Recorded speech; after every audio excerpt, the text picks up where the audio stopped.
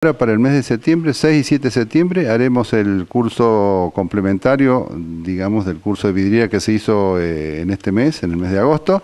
Se, va, se llama Taller de Vidrierismo y Escenografía Comercial. Eh, digamos, esa es la práctica de cómo tienen que armar las vidrieras.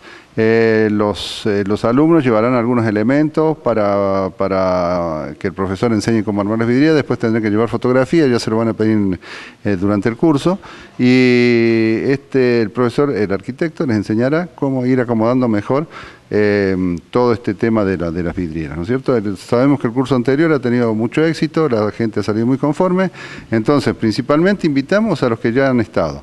Como la vez anterior, los socios o empleados de, los comerciantes que son socios va a ser gratis.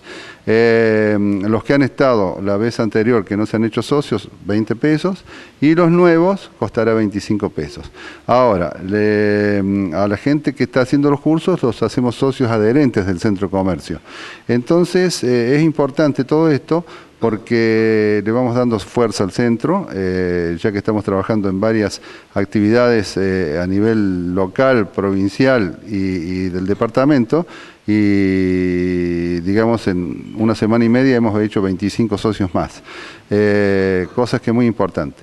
Y a medida que el señor va haciendo los socios, va comentando y va pidiendo a la gente cuáles son las necesidades de los comerciantes.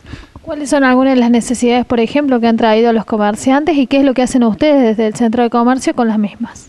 Muy bien, yo creo que uno de los temas más importantes es eh, APROS, o sea, la obra social de, la provincia, eh, que el centro de comercio la tenía hace un tiempo, después eh, se perdió. Entonces estamos tratando de, reinscribirnos nuevamente para prestar ese servicio a los socios, ya que sabemos que eh, las obras privadas o todas tienen sus problemas. Eh, APROS, toda la gente que está en APROS sabe que los problemas graves son, son bien atendidos, ¿no? cosa que los privados por allí se hacen a un lado. Entonces creemos que es la mejor eh, obra social que podemos tener.